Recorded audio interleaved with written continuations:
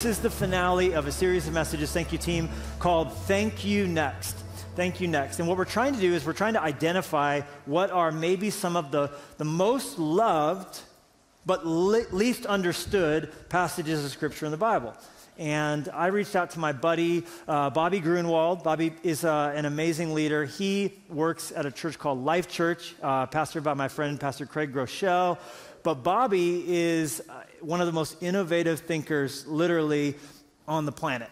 And a long time ago, when, he, when the iPhone first came out, he had this idea that he went to his pastor, Pastor Craig, with and said, Hey, what if we put an app out there that could allow people to download the Bible uh, on, the, on the iPhone? And so they were, can you believe this? First to market with a Bible app when the iPhone first opened up uh, the App Store. And so this, this church in Oklahoma just had a vision to put the resource in uh, to this app that has, at this moment, as, as, as, the moment of this preaching of this message, has been downloaded on over 500 million iPhones around the world. Raise your hand up if you have the YouVersion app on your phone. Exactly, yeah. That's because this guy, Bobby, said, Well, what if? And he took that step of faith, and this church invested resources in it. And so I reached out, I texted Bobby. I said, Bobby, uh, could you talk to the team at YouVersion and ask them what is the most highlighted verse in the entire YouVersion history? What is the verse that most people are highlighting and sharing and, and putting on a wallpaper to put on their, their, their, their, their phone background? Like, what is like the verse that really gets people hot and bothered, uh, spiritually speaking, uh, when it comes to the Bible? And Bobby wrote back and he said, It is the granddaddy of them all. The granddaddy of them all is Jeremiah 29 11. And it was a confirmation for me because I had kind of scratched down a list of verses I wanted to cover in this series. And, and so when he told me that, I said, I'm saving that one for last. We're going we're gonna end this series with the granddaddy. Uh, I know I called John 3.16 the granddaddy of them all, but, but, but according to Bobby, it's Jeremiah 29, 11. Anybody know themselves some Jeremiah 29, 11? Yeah, here's what it says. It says on the screen here, For I know the thoughts that I think toward you, says the Lord. Thoughts of peace and not of evil, to give you a future and a hope. How good is Jeremiah 29 11? Y'all, anybody thankful that we have a God who said, Hey, you want to know what I'm thinking? You want to know what's on my mind? It's thoughts about you, first of all. He says, Do your feet hurt because you've been running through my mind all day? And what are you thinking? He says, He says, I'm thinking thoughts of goodness and not of evil. No wonder that's the most underlined, shared, clipped verse in YouVersion's history. It is a verse that blesses us like crazy. I remember when I gave my life to Jesus as a freshman in high school, I, I got a Bible. I, I got a new Bible, that you sh- I, I, should say. And uh, my new Bible, I, I, I wanted to put a verse on it. And so I went to the little bookstore and they could engrave a verse on it in, in foiling. And, uh, and I said, I want Jeremiah 29 11 on it. And I still have that Bible sitting in my, my study, and I pick it up sometimes and read through the notes and read through the things I wrote in the. I mean, literally, like, you know, Bibles have like empty pages. Some of you are like, there's a physical version of this thing that I read on my phone? Yes, there is. You should get one sometime. They're awesome. And uh, they have all these white pages, and on that Bible, like every possible inch of, of white space is, is, is, is full of little things I wrote down in sermons and little things I wrote down that God was speaking to me, little verses that I wanted to remember. There's a few girls' phone numbers in there too. And, uh, and uh, but that, that's, that's, that's the cheesy pick up, pick up lines for 500, Bob, right? Like if you say, hey, I, to a girl, you say, hey, I, I noticed that my Bible is uh, incomplete. It says it has the book of Numbers, but yours isn't in it. That's how you get it. That's how you get it. And, um, I'm telling you, you're welcome. Some of you, one day, one day you're going to say, I want to introduce you to my fiance, Levi. And you're going to point back to the finale of Thank You Next as to how we got that, that done together. And, uh, but, but I, but, I, but, I, but I wanted on the cover, and I remember every time I picked that Bible up, just being blessed, remembering and thinking that God is thinking about me. And so that's where we're going today. And, and, and yet, to fully understand and to really get our hearts around Jeremiah 29 11, we have to uh, broaden our horizons and not just look at this one little verse, but to really understand the context of it, which let me just brace you for impact. It gets a lot worse before it gets better, all right? So we're starting with the, uh, the understanding that we're going to end up at God's thinking about you, and his thoughts are good and not evil to give you a future and a hope. But before we get there, we first have to get our hearts around that wonderful line from Princess Bride cheer up, Westley, I'll most likely kill you in the morning, right? Which is where he lived for a while. It got good, and he became the Dread Pirate Roberts himself, but it, it started out with just have a good night's sleep, you're probably gonna die tomorrow, okay? So, so that's where we're, we're, we're gonna get to by way of uh, it not so good on the way there, and my shoes untied.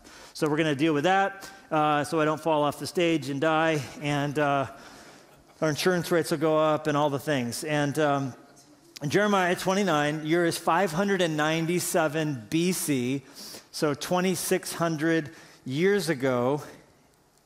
It says, Now these are the words of the letter that Jeremiah the prophet sent from Jerusalem. So you want to underline that, because where is Jeremiah at when he's writing? Because if you're going to be a good student of the Bible, you got to be a journalist. And to be a journalist, what do you do? Who, what, when, where, why, how, right? So who is this letter written by? Well, we're just told it's a letter written by Jeremiah. And where is he writing from? Jerusalem. And who is he writing to? To the remainder of the elders who were carried away captive. Who are those leaders? Priests, prophets, all the people Nebuchadnezzar and all the people that had been carried away by him from Jerusalem to where? Babylon. So he's in Jerusalem. There's a bunch of leaders, fr- presumably originally from Jerusalem, who have been carried away by who? Nebuchadnezzar to where? To Babylon. okay, so that's, that's, that's what's going on basically. And then there's a parenthesis that just gives more information that is not going to mean a whole lot to us. This happened after Jeconiah, the king, the queen mother, the eunuchs, the princes of Judah and Jerusalem, the craftsmen and the smiths. It's not the family, it's like blacksmiths, right? Valuable people who do certain things in industry, had departed from Jerusalem. The letter was sent by the hand of Elasah. So now we're like getting it to know our UPS driver, uh, the son of Shaphan and Gemariah, the son of Hilkiah, whom Zedekiah, the king of Judah, sent to Babylon to Nebuchadnezzar, king of Babylon. So that's all the biographical information that gives us understanding and the context of the circumstances that were taking place. These, by the way, are real people. And this lines up with real history. And I always point out that when you're reading the Bible, it never starts out with a long time ago in a galaxy far, far away. And when we recite the Apostles' Creed, we talk about Jesus suffering under Pontius Pilate.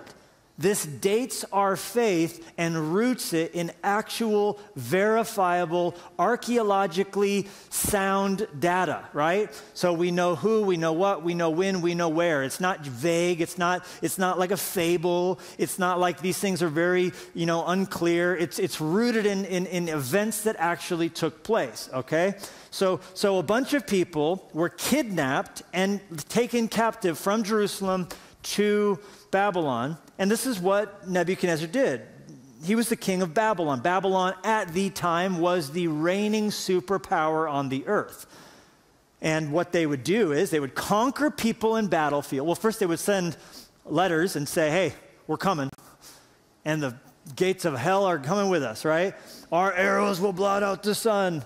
Then we will fight in the shade, right? And, and they would say, surrender now and be be basically a vassal state under us or perish. And inevitably, people would put up a fight, and so they would conquer them until they were had to say uncle. And then here's what they would do: they would take all the leaders, and they would take the best and the brightest, and they would bring them to Babylon, leaving some meager amount of people there in the country to run and be farmers. And, and of course, they would have huge taxes imposed now, and their empire would get bigger. They didn't actually intend to run that country, they just wanted it to be subservient to them. But the cream of the crop would be brought in, and they would be brainwashed, right? This is events that we know about in the book of Daniel where Shadrach and Meshach and Abednego and Daniel all were apparently the smartest of, of, the, of the whole country. And so they were put into positions of authority. And this is how Nebuchadnezzar would, would grow his kingdom. But Jeremiah, the prophet who wrote the book that bears his name, he also wrote a book called Lamentations in the Bible. That if you ever feel like you're having a bad day, give it a read because it was worse. Uh, he wrote ministering both to the remaining people who lived still in Jerusalem and Judah, but also, as, as identified in the, the, the prescript, that he wrote to uh, those who had been carried away captive. And so he's, he's, he's basically going to speak into their situation, which is bleak. All right. Thus, verse 4 says the Lord of hosts. Big deal. Meaning, this is coming from me, but it's actually coming through me. I'm not writing on my behalf. This isn't Jeremiah's opinions or thoughts. When a prophet identified himself as writing, Thus saith the Lord, meaning this isn't my opinion. He's like, Here's God speaking to your situation. Ready? To all who are carried away captive, whom I, God, have caused to be carried away from Jerusalem to Babylon. Now we have a problem. The problem is this terrible situation God is saying, This is me. I'm working in these events. Now, we need to have some understanding of why God would do that. And to have understanding of that, we have to remember that when God established the nation of Israel, he, through his servant Mo- Moses, and then reiterated through Joshua, told the people, So long as you walk with me, so long as you walk this way, or is Aerosmith song, so long as you do the things I've called you to do, there is not a nation on earth who is going to be able to oppose you. Every place you put the sole of your foot, I will prosper you. They will not be able to fight you. They will not be able to oppose you. You will go up in battle against them. And even though you're going to be smaller than they are militarily, every single one of them will be vanquished in front of you. But if your heart turns away from me, and how am I going to know if your heart turns away from me? If you put other things in place of me. If money becomes more important to you, if sex becomes more important, how will you know if these things happen? Well, if you start departing from how I've laid out how your marriages should go and family should go and life should go. If you turn to idolatry, which is what all the surrounding people did, then your heart's going to be pulled away from me. And if you do that, the power that I have given to you that causes you to be untouchable militarily will essentially be taken away from you. And your enemies will have the key and the code to take out your force shields, like in Star Wars. And once that happens, you will be laid waste in battlefield and in battle after battle, and you'll be taken away captive. Okay, so God told them this before it ever even happened. And then when they started to wander, when they started to want to be like the other people, when they started to value sex and value money and value prestige in a way that the other people of the world did, and, and they, their humility began to erode, God sent prophets to warn them. God sent prophets to call them back to him, call them back to him. Elijah and Elisha and many other righteous prophets warned them, warned them, warned them. Well, 722 BC, the northern tribes of Israel, which was the 10 northern tribes, got taken away by the Assyrians in captivity. And so prophets started to warn the southern two tribes. And they said to Judah, hey, because there was a civil war and they split north from south. And uh, they said, look, this is going to happen to you too if you don't repent. And even after watching God's promises come to pass, they still stopped keeping the Sabbath, which was one of the ways that God said, you can show me that you trust me by once every week taking a day to not put your career first, to not put making money. I know we're going to make hay while the sun shines, but you'll show that you care about me more than money by taking one day a week to rest from your efforts, to have a day to worship, to have a day to reconnect with yourself, to reconnect with me, to reconnect with your family. It's interesting, the commandment for the Sabbath, which was in, of course, one of the original lists of the Ten Commandments, it goes like this you shall do no work on the Sabbath, and there shall also be a day of rest and shelter for the foreigner who is among you, and even your animals. And someone wisely pointed out that when we stop taking the Sabbath, we start to feel like a foreigner inside our own bodies, and we start to feel like an animal, a workhorse. And interestingly enough, the two big things that c- caused them their freedom and ended up with them in captivity was idolatry and a failure to keep the Sabbath. And I think these two are closely connected because why do we not rest It's because other things are more important than God in our lives. So inevitably, they work together. It will be idolatry that will keep us from resting, and resting then that will turn us to idolatry. And so that's what happened for 490 years. You have to imagine, God was not like in a hurry to judge them. This was a slow process, a slow slide, a slow decline. And all along the way, there were prophets and leaders and people, prophetesses, raising their arms, going, Stop, turn around. This is not going to go well. Come on. When we were on God's side, Goliath couldn't kill David. When we were on God's side, the, the, the, the, Midianites couldn't kill Gideon's 300. When we were on God's side, Jericho's walls fell down, and all we did was walk and yell really loud. But when we are not on God's side, we're going to find out what we can do in our own strength, which, y'all, is not a pretty sight. And so that's why God is speaking to them, saying, This is the captivity that I have caused to happen because I told you it would come if you didn't obey me. But now you see the colon after verse 4. Verse 5 is basically him shifting into here's what to do. Here's what needs to happen next build houses and dwell in them, plant gardens and eat their fruit. Take wives and beget sons and daughters and take wives for your sons and give your daughters to husbands so that they may bear sons. Increase there and do not be diminished. And verse 7 Seek the peace of the city where I have caused you to be carried away captive, and pray to the Lord for it. For in its peace you will have peace. For thus says the Lord of hosts, the God of Israel. Do not let your prophets and your diviners who are in your midst deceive you, nor listen to your dreams which you cause to be dreamed, for they prophesy falsely to you in my name. There was basically prophets uh, who, the moment they got taken away captive, who started to tell people what they wanted to hear. And what the people wanted to hear was, We're going back soon. We're going back soon. We're going back to Jerusalem. We're going back immediately. Don't unpack your bags. Don't settle in here. God, God's not going to keep us here long. We're, we're going back immediately. And, uh, and basically, Jeremiah is going, eh, that's not accurate. These are liars. God did not say that. And so uh, you need to know that's not true. For thus says the Lord, verse 10, what is the truth about it? And I'm going to do a double knot this time on this shoe, because this one's come undone now. This is the casual reading of the Bible while tying the shoe that you came for. He says, uh, I have not sent them, for, for thus says the Lord, after 70 years are completed at Babylon, I will visit you and perform my good word toward you and cause you to return to this place, because Jeremiah is still in Jerusalem. Return to this place. For I know the thoughts that I think towards you, says the Lord.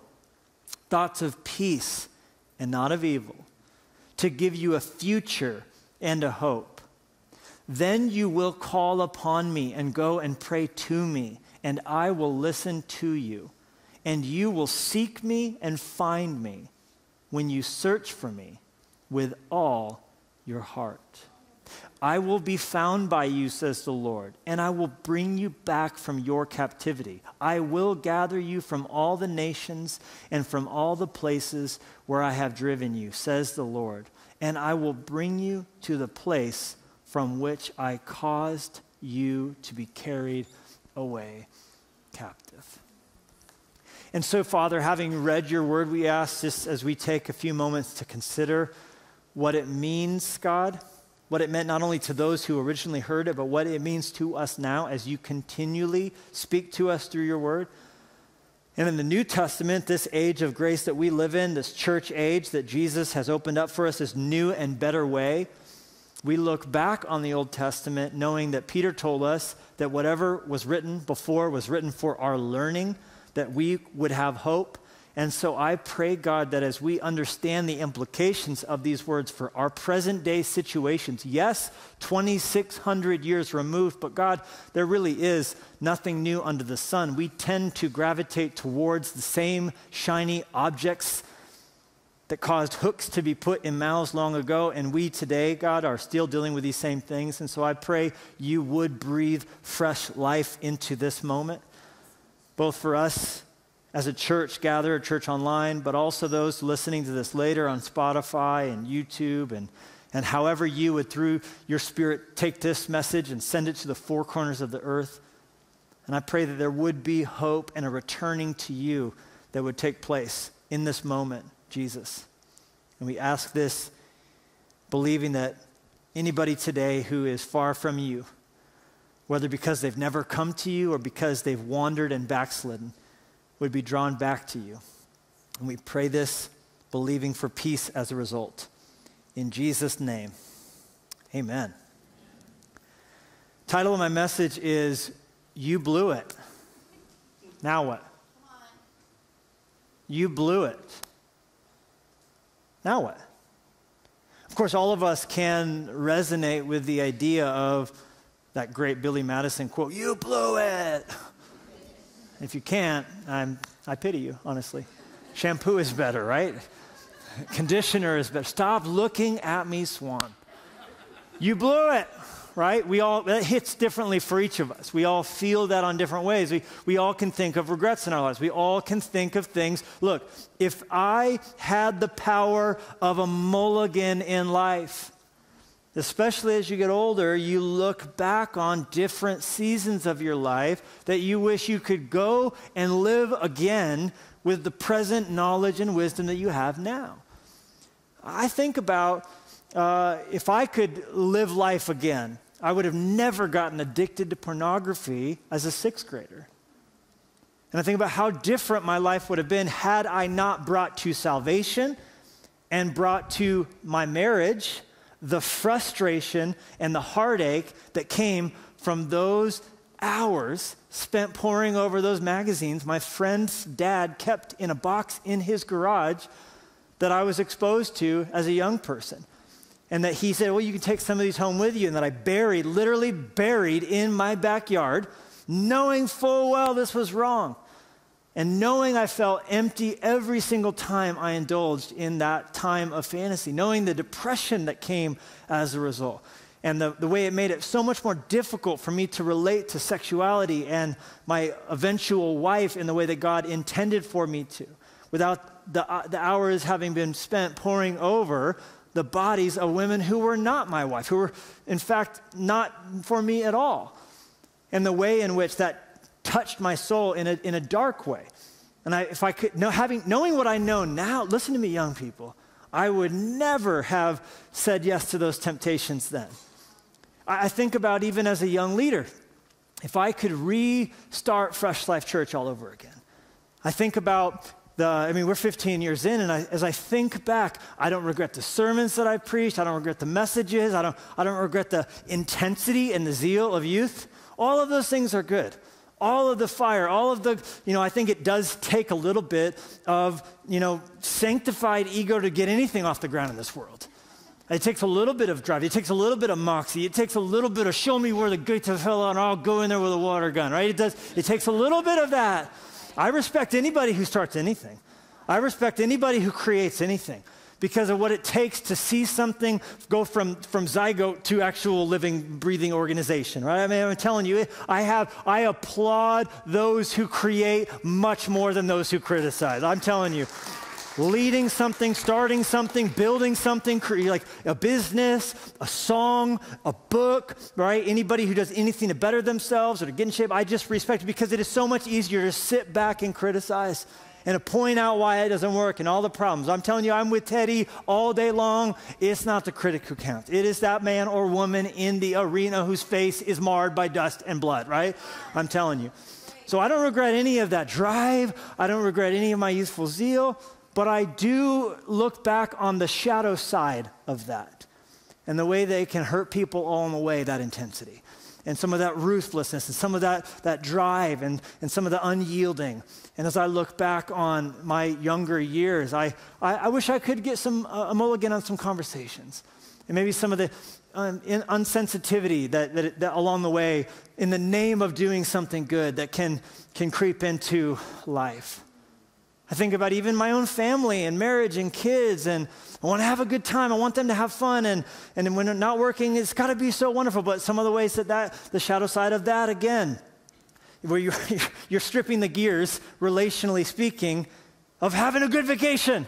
We got to get there on time. Why? So we can have fun and love each other.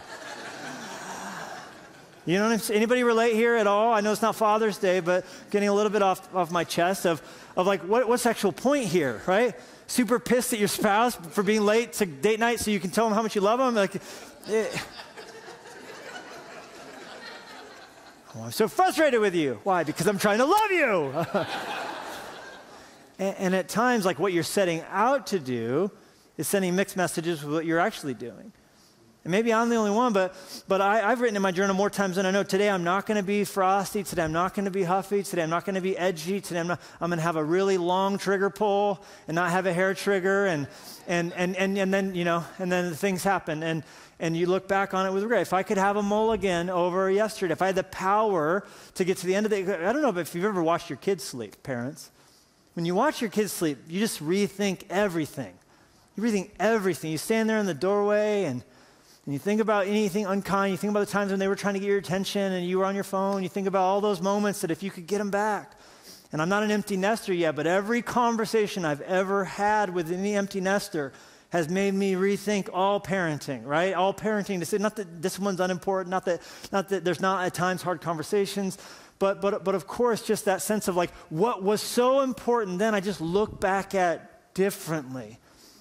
And as a pastor, and having been in many deathbed situations, of course, in my life, and having been in many end of life moments, and having, having watched many people face the, the, the, hardships of funerals, it's just different how you look back versus when you're in it. And the common denominator, it seems, to everybody who gets to the end of something is to look back with some regret. And that metallic taste in your mouth of, of the heartache of if I could go back and do it differently, I would. And for all of us, we bring something different to this conversation of you blew it. Now what? And I think what's so hard for these people, the Jews, in this captivity is they, they, they have almost, you know, they, they, they say if you have a limb amputated, you have something called phantom limb sensation, where you still have nerve endings firing, telling you of pain in a part of your body that's not even there anymore. My daughter played and plays on the tennis team at her high school, and on her tennis team this last year, he just graduated, but was a senior who, whose name is Joe Brandt, and he's, I have such respect for him because he lost his hand as a young child in a, a lawn mowing accident at home but has gone on in life. I'm telling you, this guy plays tennis better than most people with four hands would ever play tennis, okay? With one hand. And to watch him be able to serve the ball and hit it, and the strength and the grace and the grit, and, and just has been such an inspiration to so many people. But having lost a hand, there would still be in his brain the pain sensation for a hand that's no longer there anymore. What I experienced, though, is that that can be true of people and not just limbs. When our daughter died and went to heaven as a five year old, there was for so long phantom limb sensation, but for a person. And any, anybody who's ever grieved the loss of someone, you still feel all of those feelings of wanting to hug and wanting to love and wanting to protect and wanting to buy gifts for and all the phantom love sensations. It doesn't go away just because that person's not on this earth anymore. But interestingly enough, I was this week listening to a podcast that was discussing the way in our brain we can even have those sorts of exact pain sensations for places. You have in the hippocampus portion of your brain something called place cells. By the way, if everybody could just help me out with this sermon, right now, just in your mind, imagine your bedroom. Imagine the layout of your bed, Imagine the layout of anything at the foot of your bed, one of those little couch things. What do they call them? Michael Scott slept on his. It was a, it was a little like love seat thing at the foot of his bed. And, and uh, oh, no, it's comfortable. Jan sleeps there. I sleep here. It's, well, it's, it's wonderful. Huge TV, big swivel mount. It's awesome. And the Dundie went into the TV. Um, but if you can, in your mind, imagine your bed and how would you navigate to go to the bathroom in the dark in the night without cussing? Whew I caught it. I caught that sucker yesterday, and I almost let her rip. I, I caught it though, Ben, right at the last second. I'm a Christian, and um, but in your brain right now, you, you don't even realize this is happening. As you imagine the orientation of your bedroom, place cells fire in your hippocampus. You can literally feel yourself navigating around it. But did you know that if someone went in in the night and changed everything in your bedroom, you would have those same things fire as you try to navigate it, but with the place no longer where it should be, instead of place, something called trace cells would fire. And trace cells fire in the hippocampus anytime there's an expectation of an orientation to be a certain way, place wise, situation wise, as you navigate your life wise. And when it's not there, it literally fires a different kind of cell which exposes distress in the brain it's a sort of grief over what you're expecting your reality to be like that's not that way anymore. And I thought that's so profound because is not it a sort of grief? Isn't it a sort of grief to have place be like you thought it was going to be, where you were at in life, where you thought you were going to be at in life? It's almost like there's a sense in which we experience duress. And one study has found that the grief feeling that comes over your body physiologically is something that's, that's similar to depression, but is different and distinct from depression. And they found that antidepressants do not work on grief the same way they actually work on depression. So it's something different happening entirely. And I think it's so appropriate for us to sort of feel all of that because of Jeremiah writing to people who are still bumping their legs into imaginary coffee tables that aren't even there anymore because they're not in their home. They were carried away captive to somewhere else. And it was trace firing after trace firing after trace firing for them, the phantom limb of the life that they always thought they were going to be living in Israel. And now they're captive in Babylon. They blew it. Jeremiah wrote them to say, now what? Because according to Psalm 137, their response was to hang their harps up on the tree. Read Psalm 137 and feel the bittersweet regret of them waking up in Babylon. Talk about the morning after.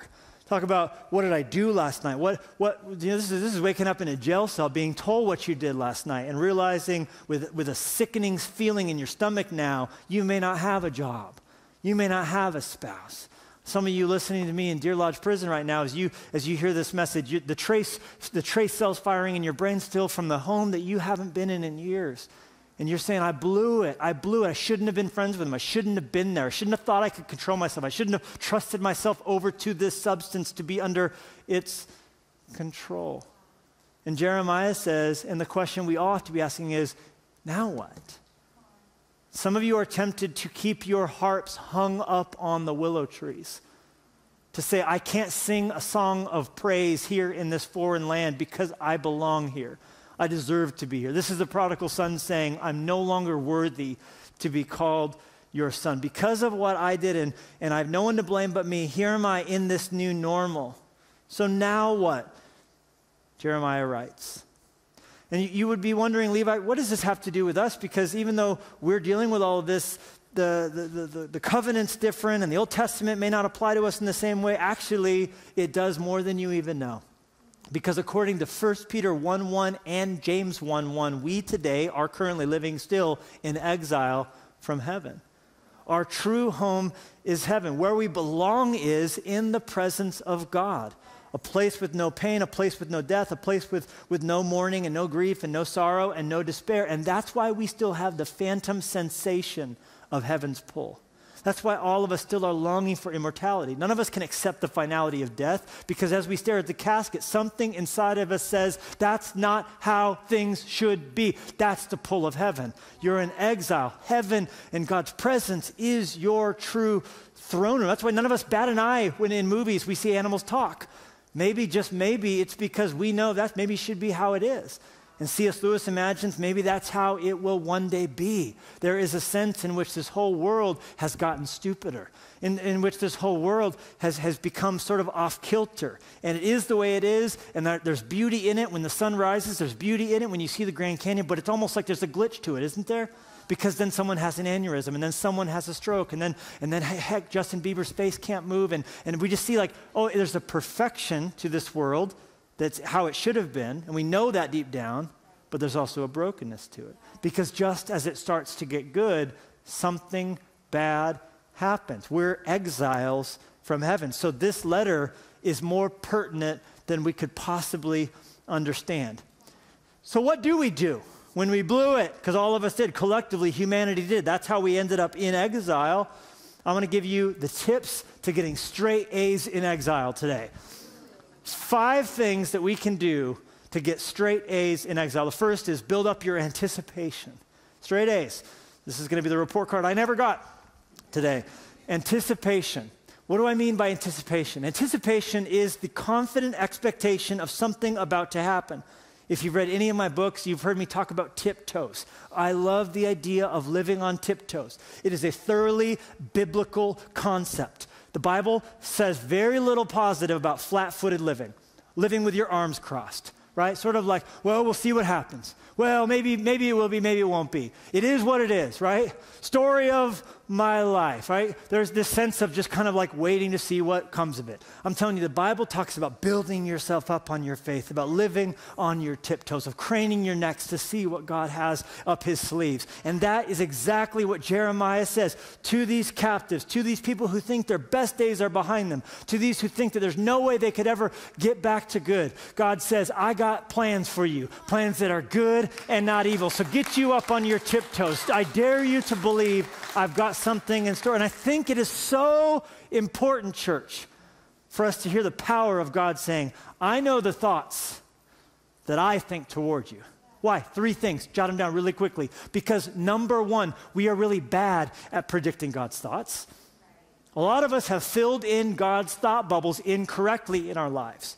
We have assumed he was mad at us. We have assumed he wanted to judge us. We have assumed he was overlooking us. We have assumed that he has his eye on everybody else but us. We have assumed that he dropped the ball when it came to how we were built and he didn't know what he was doing when he gave us the gifts we did and the home we were born in and the trials that we face. And that's why we go, well, why, God, if you're a God of love, would you?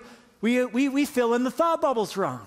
When in fact, he says, I have thoughts towards you that outnumber the sand of the seashore. When he says, I got your name written on the palm of my hand. When he says, I am constantly thinking about you, entirely devoted to you, that I see you like a beloved son. You're the apple of my eye. I care. I know. I love. I got every hair on your head numbered.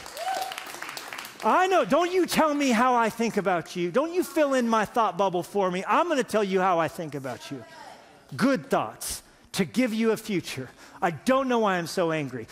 I'm not. I'm actually not. Just found myself in the wrong gear. Downshift. Engage the clutch. Number two, because we're bad at predicting our own thoughts. God says it should be really reassuring to hear God go, I know exactly what I'm thinking. Why? Because I am so often conflicted. Yes. Well, I think this, but I'm of two minds on the subject. Right. I'm of, right, have you ever felt that? I'm of two minds, and we debate it, and we endlessly pro and con, and write a little list with a thing in the middle. It's like everyone's like, I know what we should do. Here's what we'll do. It's like, this is an entirely great idea. Well, what are we doing with pros and cons? What are we doing with, but this and this? We're, we're saying, ah, I don't even know my own thoughts. What do you want? Ah. Can you tell me where we should eat? I'm just talking about ordering at Sizzler. You know what I'm saying? It's like this is the confusion. And, um, and, and so to hear God go, I know, I'm not of two minds on the subject. I know my thoughts. They are forever and, and yes, my promises are forever and yes, amen in Jesus, my son. Good towards you. The thief comes to steal, kill, and destroy. I came to give you life and life more abundantly. Where will you get to if you follow Jesus? Good things. End of story. That's pretty good. A future and a hope. Okay? So, so reason number one, it's important to hear God say, I know my thoughts toward you, is because we are bad at filling in his thought bubbles. We are bad at filling in our own thought bubbles. But even when we do know what to think, we are bad at bringing those things to life. Aren't we? And so he says, Give me five more minutes. I'm not quite ready for you. Come back in five, right? so we're on to something here. I could feel something really good happening here. But God's not confused about his thoughts. God's not unable to do what he thinks he should do. God never says, like Paul does, what I want to do, but then what I actually do, and what I set out to do, versus the kind of dad I really am, right? The leader I want to be, versus I'm a jerk sometimes, right? All the things. That's not God. God sets out, out to do good and then does good. How refreshing is that? Anticipation. So trust Him, keep His thoughts, pick your dang harp up and sing a song. Pick your harp up and sing a song. Anticipation for something better. Number two, straight A's, right? Acceptance. Accept where you are. A big part of the grief process is to stop fighting it and accept it. Take a hard look at your reality. Take a hard look at what got you here. Take a hard look at what you're now grieving. Call a spade a spade. Name it. Write it out. Say it out loud. Quit using, you know, language that kind of shifts the blame around. Accept it. The sooner you come to acceptance, the sooner you can learn what you're going to do about it. These false prophets were going, no, no, no, denying reality, denying reality. We're getting back. This isn't real. This isn't happening. This isn't happening. Jeremiah says, it is happening. And you're here now. This is your home. You made your bed. This is the bed. This is the new normal. This is what you've, your decisions have led you to. So you need to accept it. And you're not going home anytime soon. You, you're going to be here a while. So come to terms with it. I like what Max Lucado says in his book, You'll Get Through This. I have quoted it a thousand times in my pastoral ministry to, to hurting, grieving people who blew up their marriage, who blew up their home, whose kids won't talk to them, who have lost their jobs, who have, who have had an affair, who have, name, name, name the thing. I've, had, I've quoted this to them uh, more times than I could possibly count, and I want to make sure you read it too because it is, it, is, it is words of acceptance but with hope. He says, and he writes, You'll get through this. It won't be painless, it won't be quick but God will use this mess for good. In the meantime, don't be foolish, but don't be naive. But don't despair either. With God's help, you'll get through this. Those are words of hope, but they're words of acceptance. This is now the new normal. This is now it. Don't think it's going to be happening quick that you're getting out of it, but also don't despair. Come to terms. Third A, agency. Agency. You need agency. This is something psychologists talk about. It's often overlooked, but it's in the dictionary. You think about a creative agency, a business full of designers and typesetters and, and, and people who will buy the ad in the, in the newspaper or in Google. Uh, but, but agency is also something within yourself you need to have. And in the dictionary, agency is defined as the capacity to act or to exert power, the ability to make choices that influence your life. When you are grieving, one of the things you will feel, whether you're grieving a place, a person, or a limb, is the loss of agency, meaning I feel disempowered right now. I feel like there's nothing I can do about this. Some of you in Deer Lodge, you feel like you have no agency because you can't go home, because you can't be with your spouse, because you can't be with your kids. You feel like I have no agency. But what you need to remember and what God says to Jeremiah is no matter where you are, no matter how dark it is in the hole that you're in, no matter how bad you feel, you still have a choice. You still have agency. Pick up your harp. You still have some things you can control. And you're like, what exactly? Didn't he tell him? Build a house. Didn't he tell him? You can't build a house? Plant a flower. He, we can't do this. Lead well at work. Do a good job in your new role that you're in here in Babylon. The point is, when you can't, this is so important, when you can't do the good you would, do the good you can. That's agency. Well, I can't, we, we tend to focus on what I can't do, what, what I've lost, what I've given up. What can you control? Shrink it. Shrink it shrink it. It could be as simple as planting a flower. When the flower, flower is planted, what are you going to do tomorrow? Water it and then take care of it. And what are you going to do the first time you see a baby green thing pop up out of the ground? You're going to do a dance because a little thing that you planted, now you've beautified your situation. I'm telling you, you have a, a, a, tiny little apartment, you have barely anything you can do, and you only think of the house you wish you could decorate. Do something in your apartment, do something to beautify your current situation. Now I'll take it even a step further do something for someone else. Do something to plant flowers in someone else's lawn. Do something to bless someone else's situation. Didn't he say in verse 7 in the city's peace, you will experience peace? Pray for Babylon. Wait, what are we talking about here? I want to get back to Jerusalem. Jerusalem means the city of peace. I want shalom. I want wholeness. I want well being. Well, if you can't be in the city of peace, bring some peace to the city you're in. Bring some of that peace to Babylon. I just want to go to heaven. I just want to be with Jesus. Well, baby girl, that's not happening yet. In the meantime, we need to touch this earth for heaven. We need to be ambassadors for heaven. I'm on exile. I'm hanging my harp up. This world's icky and naughty and bad and gross. Well, guess what? God has us here on mission. God has us here on purpose. It's time to rock the city. It's time to be an ambassador. We have agency. We always have a choice. We can always rejoice. Our song sounds best when it's sung in Babylon. To bring that song of praise here, who knows what God could do? Two PhDs from Harvard wrote Agency is what allows you to pause, evaluate, and act when you face a challenge, be it at work, home, or anywhere else in the world. And agency is chock full of the idea of living with the Holy Spirit of God inside of you. You are not a victim. So don't just sit around moping. Change what you can. Be a bright light where you are. Dr. Tony Evans wrote When we examine deteriorating cultures throughout history, we often find that the people of God withdrew from them. For example, when Christians abandon a community's hub, taking their skills, resources, and moral influence with them, neighborhoods deteriorate. When Christians leave the public school system, moral values are systematically erased there until they practically become illegal to teach. When Christians vacate the media, spiritual perspective goes with them. When Christians get out of politics, a godly moral framework through which to define and interpret our laws goes away with them. God's people have been called to penetrate society as both salt and light. No more can we pretend like we're living in heaven. We need to be right there where we are, using our influence in our Babylon to shine the light of the King of Salem, to shine the light of the Prince of Peace. We blew it as humanity. Now what? Realize we have agency. Realize there's a need for acceptance, for anticipation always. God's got good things. And then, fourthly, audacity. Audacity is like a little sense of gall. Uh, audacity is like what the Jews call chutzpah. Audacity is, is where you, you got moxie, where you have, you, have, you have courage, you have grit. And I believe that's what's needed for us to see that our influence now can change things long after we're gone. Yeah. What's 70 years? That's not your lifetime and mine anymore. 70 years from now, most of us in this room will be in heaven.